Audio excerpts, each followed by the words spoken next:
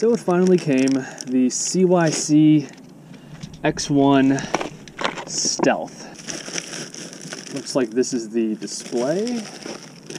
Here we have the thumb throttle, some spacers. This is the front sprocket, the chain, and then here we have the star of the show. Ooh, look at this. I have to say, guys, the price tag on this is pretty high, but the quality I mean, this thing is heavy, solid metal, and it's nice. And of course, I got the model with the ASI 855 controller. And I have to say, in comparison to my old controller, which is huge, this one is super compact. You can see how it's integrated with the motor, which is very nice. Here is the new torque sensing bottom bracket with the cranks. And to go with the new crank arms, I picked up some new Rock Bros pedals, and I think these would be a nice addition.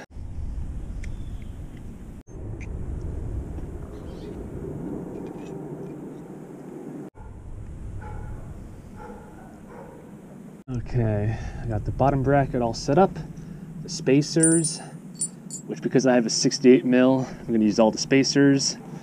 So let's try this.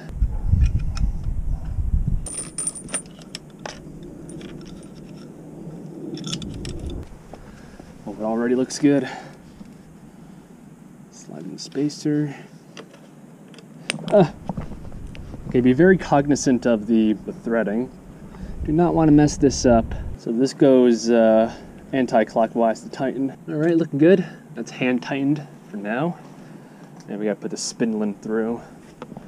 And it should be pretty painless. This whole thing so far has been pretty painless. Boom. Okay. So far, so good. Okay, chain ring time.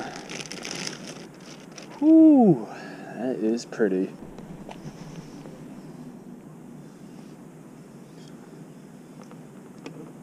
It looks like I missed a crucial step.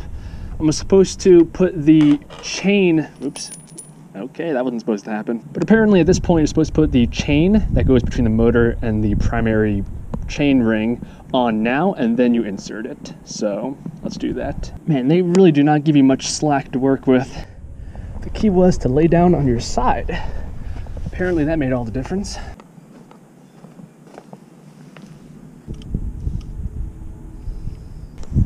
That's one, now the other.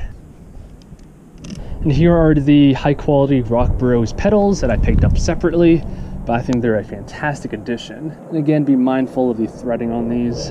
Okay, now the last thing you have to do, aside from the wiring, which is going to be very easy, is the little holder that's going to keep the motor in this position. And like that, the physical installation is done. Now on to the wiring. Okay, so this is what we have in terms of wiring. We have the main display with the little mode switcher, as well as the on-off button. We have an extension slash splitter cable, and we have the thumb throttle in my case, and a magnetic I think it's a speed sensor. It goes on the back wheel. And by the way, all of these have waterproof connectors. In fact, this whole system is water resistant. Okay, they actually give you a full wiring diagram and it's super simple. Okay, a bit of a tough angle, but the torque sensor is plugged in. And I have the wire kind of tucked away. Okay, and then this one right here is the speed sensor that's gonna be mounted somewhere over here. I'm gonna do that last. And that just leaves this big cable right here. So plug that right in. It's a very tight fit because these are waterproof connectors. I gotta route this up to the handlebars. All right, so now I just have to mount the display and find the throttle because I already lost it.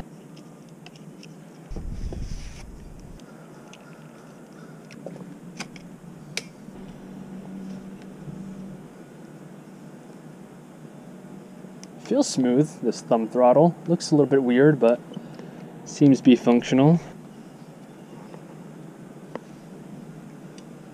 That is always satisfying. Okay, it's all fastened down. I actually had to remove my mirror because I simply ran out of room. And all that's left now is to plug it in, and they're actually color coded. So you can see right there, it's green and yellow. Okay, let's take the CYC motor out for its first inaugural test spin before it rains. It is getting quite cloudy and windy.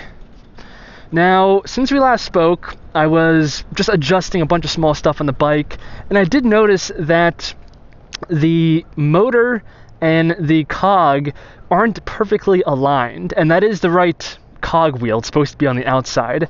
I'm not sure if you guys can tell on GoPro, but it's slanted and I tried my best to adjust, and it's still not perfectly aligned. So I'm going to email the company, see what's up with that, to maybe try messing around with it a little bit more. Um, but the chain hasn't fallen off, it just kind of makes a noise and it's under a little bit of tension that it doesn't need to be under. But let's do this. I did go into the settings and unlock it because by default it comes in uh, like street mode or something like that. So, okay pedal assist. It's working.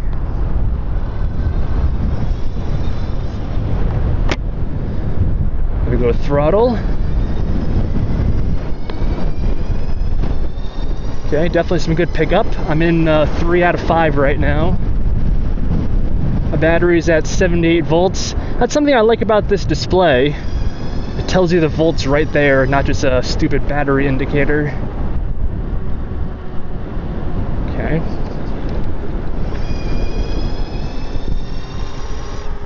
I think you guys can hear that noise. I mean, it's very windy out, so maybe not. But that's just the chain, because like I said, it's not perfectly aligned. The motor itself does make noise, but CYC did tell me that the new batch is a lot quieter and less high pitched than the old ones. And I have to say, I think I agree with them. The noise isn't bad at all. I just have to eliminate that chain noise and fix that alignment. Okay, I mean, the acceleration is very slow, so maybe I'm doing something wrong here. Let's go up to mode 5. Okay, that's better. Whoa, okay, yeah, I feel that power now.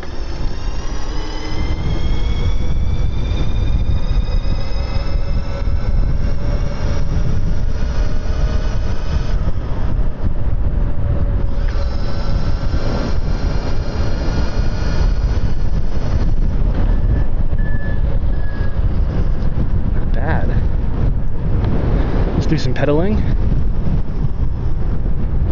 I definitely have to fine tune this. The uh, there's an app that comes with this motor. Okay. Oh yeah, I have gears now. Let's use that. Let's go a bit easier. But yeah, there's an app that comes with this motor, and it is very intimidating. But you can adjust basically all of the settings. There we go. That's a good pickup. Okay, yeah, we're at 1600 watts. I think you guys can see that on the screen. It's not giving me a readout of speed, unfortunately.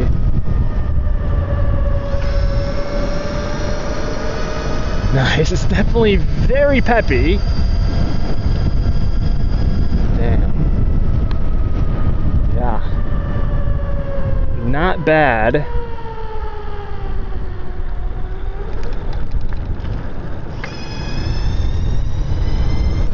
See this motor, it's advertised as 1500 watts, but it's actually a peak of 2000.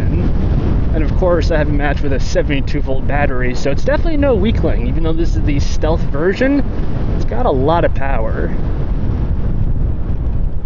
And of course, the hill climbing ability. I have to also adjust my derailleur in the back, that's just a me thing.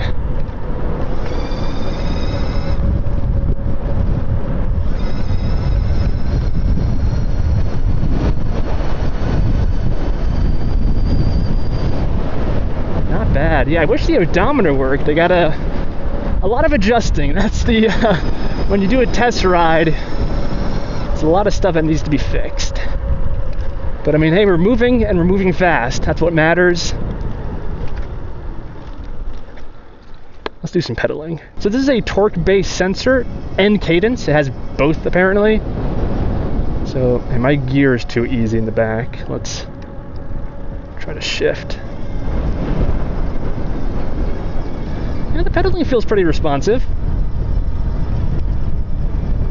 I'm going downhill right now.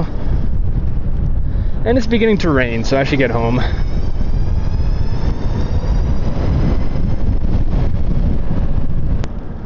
Let's pedal up here. Yeah, see the motor kicks in. So like I'm putting in a consistent amount of effort no matter how the terrain changes. It's a pretty cool feeling actually. I'm not used to having pedal assist. So, what did we learn from the first test ride? So, the system is a lot more complicated than the hub motor. And by the way, I wasn't using the hub motor even though it's still installed. And hopefully you guys can tell from this view that the chain isn't perfectly aligned here. So that was making a lot of chain noise. I also have to adjust my derailleur in the back. But once I get all the chains properly aligned, I mean, the power and the acceleration was there. It felt very nice. The noise level wasn't anything crazy. It definitely looks nice. The build quality, I mean, this is all solid metal. And in case you're wondering, the motor is a little bit warm after just a little bit of riding. But this is just the beginning. I'm going to have a lot of future content on this motor, and I have no doubt that I'm going to be able to fix the minor adjustment problems that I have. So if you guys want to see a lot more content on this motor, including things like the top speed, going off-road, and just doing a lot more stuff with it, make sure that you're subscribed to the channel. But I'm going to bring this all inside before it begins raining too hard, and I'll see you guys in the next one.